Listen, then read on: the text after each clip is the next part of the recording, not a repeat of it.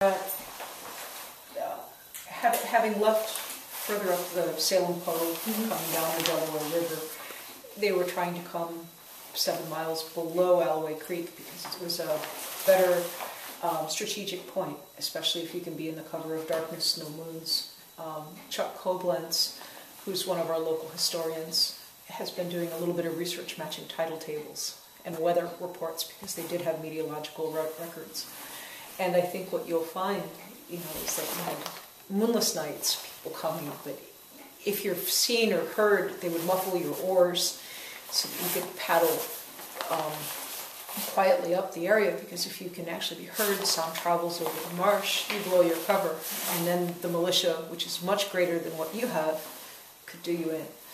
Um, people, they arrive much later than they expect, so instead of having a 10 o'clock uh, attack, they arrive about 5 in the morning, so people have cold, wet feet, they're bringing planks to cross the bridge, and some of the loyalists here in the area are assisting the British um, crossing crossing the marsh.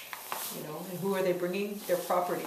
Um, basically, there's a story that there's a gentleman named Nicholson's Frank, who's one of the slaves, and he knows the shortcuts through the marsh.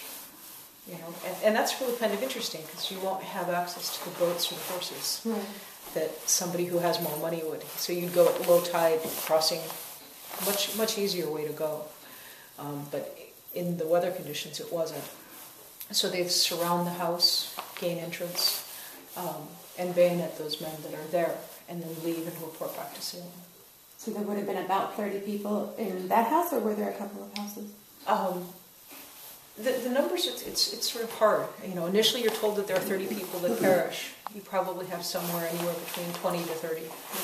Um, So it's just that house in the area, or were there other? As you're coming up the creek, they're securing the homes. So they might have stopped here, bayoneted the occupants, or held them under guard so they couldn't sound an alarm. Because as you're coming up, now you've blown your cover. Right.